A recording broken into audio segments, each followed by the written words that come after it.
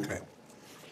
Yeah, can you see this cardie they make me wear? It's like blue with bones on. They think it's my special cardie. They think they're being really nice to me by giving me a special cardie. What I really want is a special bitch. I got the big balls and I want to show them to a special bitch. I want them to come round. I want to chase them around the garden. I want to sniff ass. And then I want to shag them. I want to get up on my hind legs and give it a ball.